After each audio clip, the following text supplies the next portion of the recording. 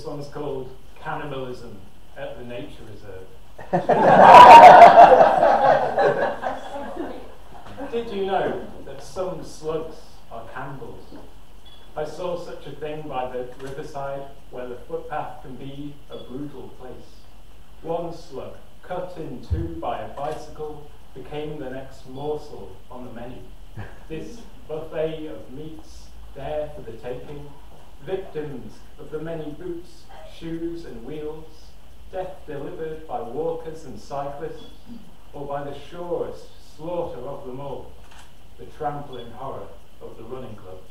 I saw the living at another feast, busy and ravenous, arranged in line, like ships at anchor or pigs at the trough, there to consume the flesh and the juices, crawling to finish the job, the steady dissection of an old friend.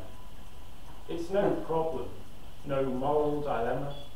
The same could happen to any of them.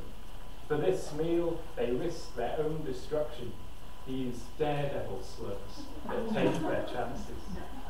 But such reckless cuisine, is it worth it? Why not wait, concealed and out of harm's way? Then watch as all those macho slugs go splat. Later, when the footpath is quieter, isn't this the time to emerge and eat? But it wouldn't be fresh. Maybe that's it. The fresher the kill, the greater the prize. Rather than stupidity. However they do it, the fact remains. Some slugs can and will consume their own dead. But please, don't consider it disgusting.